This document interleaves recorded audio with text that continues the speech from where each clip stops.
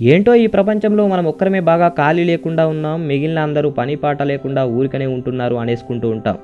మన గురించి మనకంత గొప్ప నమ్మకం కాబోలు. మనకెప్పుడో ఒకసారి ఎవరో ఒకరు గుర్తు వచ్చి మన పలకరింపే ఆ గుర్తు వచ్చిన వారి జన్మధన్యం అనుకుంటూ మనకి వెంటనే సమాధానం చెప్పేయాలనుకోవడం సమాధానాలు కాసేపు ఆలస్యమైతే పదే పదే విసిగించడం. మనకు పనులున్నట్టే ఎదుటివారికి కూడా పనులు ఉంటాయని ఆలోచించలేం ఎందుకో మరి? ఒకప్పుడు కలం స్నేహం అంటే ఓ చక్కని అనుభూతి ఉండేది. దానిలోని భావాలను పంచుకుంటూ ఇప్పటి ముఖపుస్తక స్నేహాలు పోకళ్ళు చూస్తుంటే ఏం చెప్పాలో కూడా తెలియని పరిస్థితి.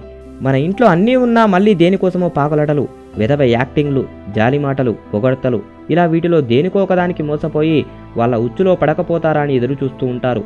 వ్యక్తిత్వం అనేది అందరికీ ఉంటుంది అది మన ఒక్కర సొత్తేం కాదు. మనకున్న అనాగరికమైన ఆలోచనలు ఎదుటివారికి ఉంటాయనుకోవడం మన భ్రమ. ఇష్టాలు అభిప్రాయాలు మనస్తత్వాలు ఇలా కొన్ని కొందరిలో నచ్చుతాయి కొన్ని నచ్చవు. ఇది ప్రతి ఒక్కరిలో ఉంటుంది.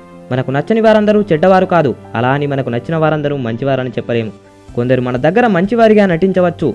మన వేమన గారు ఎప్పుడో చెప్పినట్టు మేడిపండు చూడ మెలిమైయుండు పుట్టవిప్పి చూడ పురుగులుండు. ఎంత నిజమిది?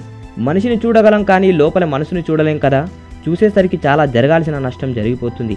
అందుకే నొప్పింపక తానొవ్వక అన్నట్టు ఉంటూ మన పని మనం చేసుకుంటూ పోతుంటే సరి. భావాలను పంచుకోండి బంధాలను పెంచుకోండి బాధ్యతలను మరవకండి.